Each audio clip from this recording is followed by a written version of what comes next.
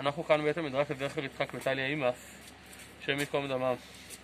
אנחנו קוראים השבוע בפרשת השבוע, הוא אומר לו, יעקב אמר לעשו, או עשו אומר ליעקב, אני אציג עיניי ממך מן המשרתים, אומר לו, למה זה מצא חן בעיני אדוני? עד, אה, אני אלך לאיתי עד אשר אבוא אל אדוני שעירה.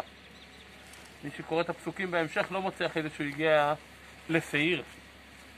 אז רש"י שם מביא, נראה לי רש"י כבר מביא את זה, זה במדרשים כבר, יותר מוקדמים, שעד אשר אבוא אל אדוני שעירה, זה מה שיהיה לעתיד לבוא, ועלו מושיעים בהר ציון לשפוט את הריסה ואיתה להשב המלוכה. אז נבוא לשעיר.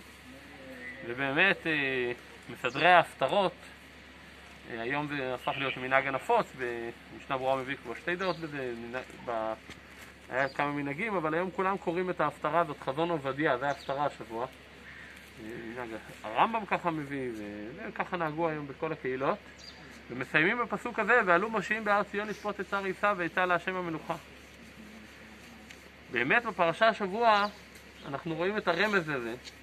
מיד אחרי, ועד אשר אבוא אל אדוני שעירה, כתוב ויבוא, אה, ויבוא יעקב שלם עיר שכם. שלם, ויהי בשלם סוכו מונתו בציון. שלם זה שם של אה, ירושלים. אז אחרי ש... אז איפה זה יבוא ל...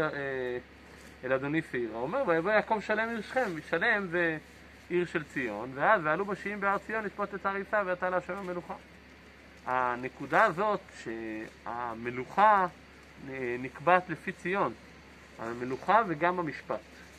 בשביל שיחזור המשפט למקומו והמלוכה תחזור למקומה ותהיה מושלמת, צריך ועלו מושיעים בהר ציון. הקדוש ברוך הוא יעזור לנו, אנחנו נמצאים פה עכשיו בהר ציון, אנחנו, הקדוש ברוך הוא יעזור שתבוא לפה הישועה למקום הזה ואנחנו באמת אה, נבנה פה בהר ציון את המקדש ונשפוט את הר עשיו ועיניים לא לעולם ועד.